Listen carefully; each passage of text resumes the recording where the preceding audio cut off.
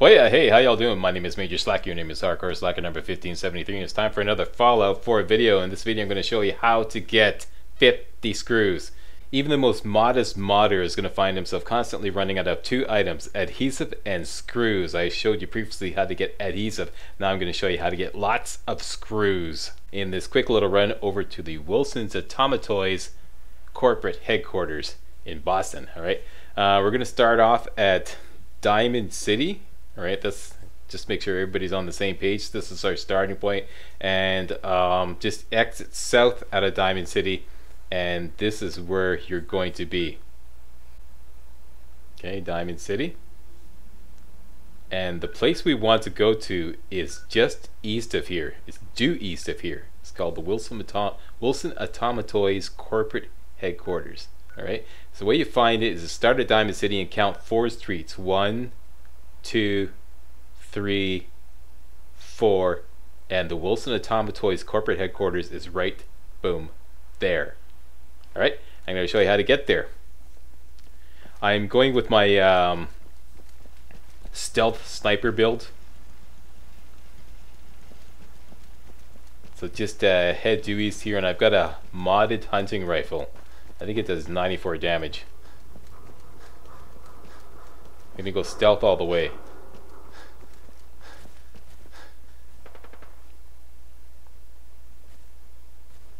The first enemy encounter is just beyond this kind of like brick wall obstruction here, this fallen brick wall right there.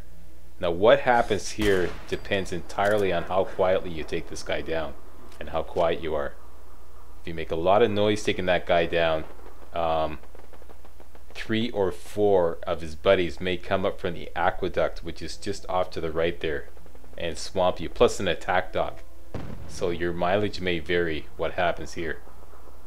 In this situation, I managed to take him down quietly enough, so that didn't happen.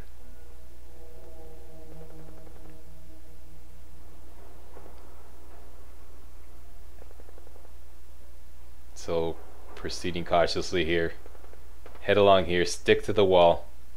Right around here, there may be a couple of mines. So tap your VATS button a lot. You hear me tapping it away. Just tap, tap, tap, tap. Tap your VATS button um, to try to spot those mines. Because your VATS will spot mines for you.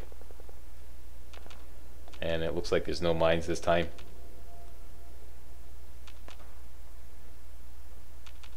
Once again, your mileage may vary. Okay, so up these stairs, there may be an enemy counter just up ahead here. Maybe. Not always.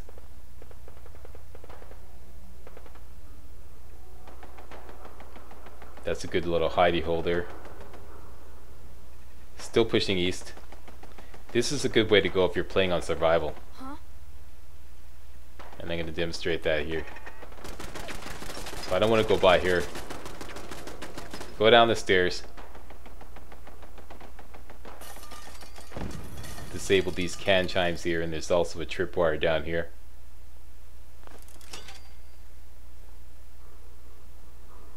Get into the aqueduct, and then we'll go racing across to that kind of like uh, fallen roadway there, and we'll go up the roadway. I just want to take some Rad-X because there's some uh, radioactive ground up ahead as you go up that fallen roadway, that's where we're going to go up. So this is kind of like a safe way to go if you're playing on higher difficulty settings. So taking some rads here, but that's okay. And we're back on the road. We're past that part there. Continue further east. We're going to head straight for that life is a race sign, that thing right there. And we're going to tuck ourselves right in this corner, right boom, there. Alright? That's if you're playing stealth. Okay, if you're going to go stealth sniper like me, this is what to do. And we're going to have to deal with some super mutants. Tuck yourself in the corner.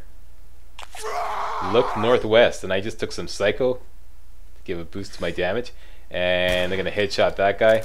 Down he goes. He's got a mutant hound. You got to take him down quickly, otherwise he'll mutate. He goes down. And once they're both down, just speed run for the door.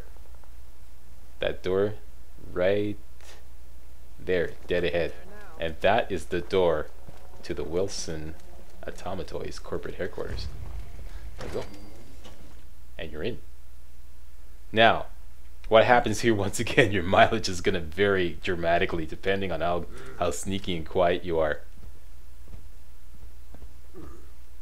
There are some things you can rely on though. There's always a super mutant straight down here. So go down here, turn to the left. Super mutant always comes out. He'll bob around a little bit, so wait till he plants and then headshot him. Not now. He's gonna plant now. Headshot. Boom. Down he goes.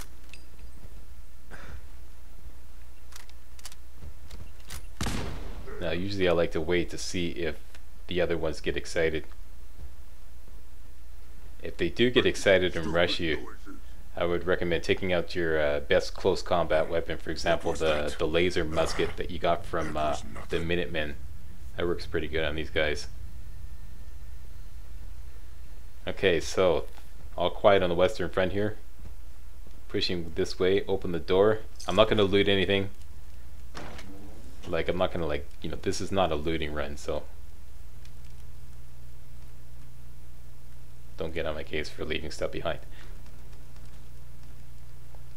Not to mention that you want to leave as much space as possible for these toys that we're going to pick up because they can be rather heavy.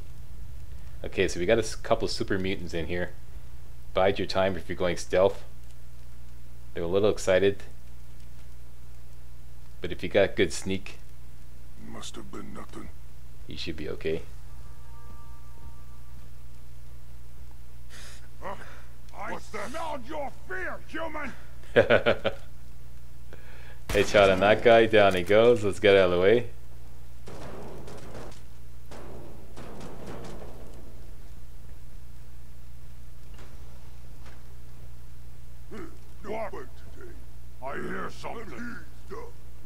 Now, a lot of the super mutant voices that you're hearing are coming from the floor above. So don't freak out. There's typically only two guys in here. And the toys we want to pick up are just in there around the corner to the left. So if you got some different ideas, like, you know, speed running in there and grabbing them and running it out, that, that's where they are. Good luck to you, by the way. I'm sure it can be done.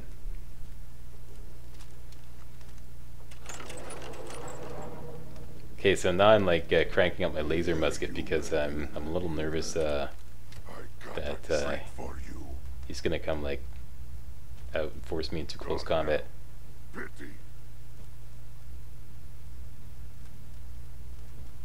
So back into hidden stealth mode. Look, this is good.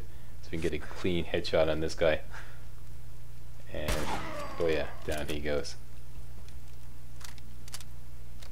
That's it. It should be clear in there.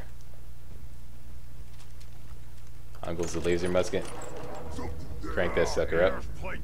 And once again, these voices you're hearing are coming from upstairs. Once these two guys are down, that's it for this floor.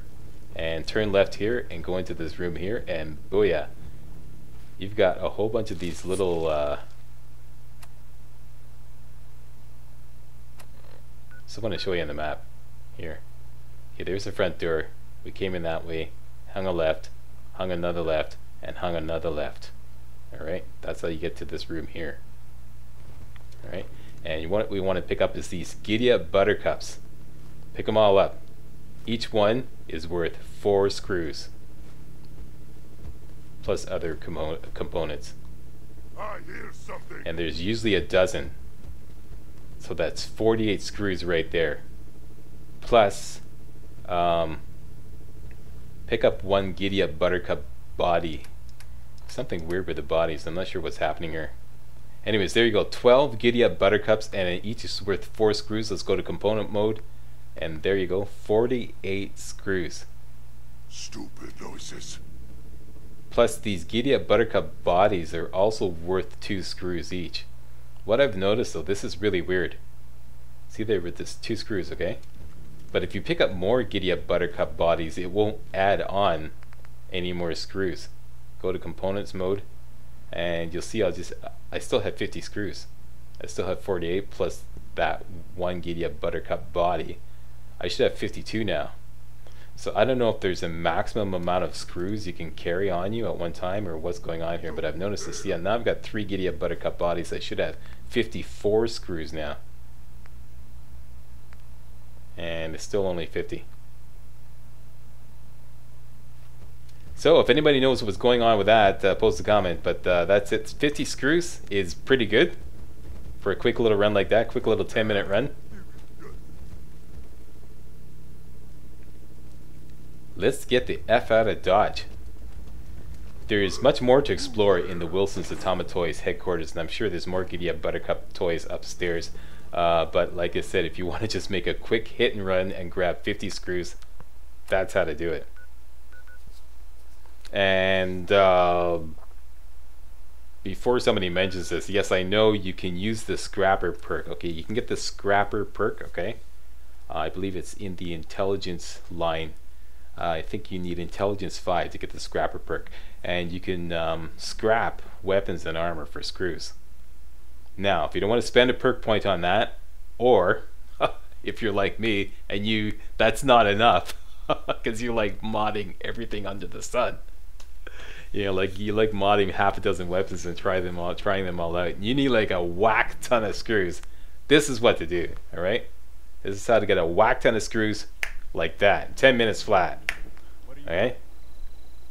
I mean I don't think you can even adventure and collect weapons and uh, scrap them into 50 screws that fast using the scrapper perk. So this is still a pretty viable option even if you do have the scrapper perk. So that is it. And if you thought this video was remotely entertaining and or informative please subscribe to my channel for more Fallout 4 videos. Hot off the press. Yeah. All right. Thanks for watching. See you next video.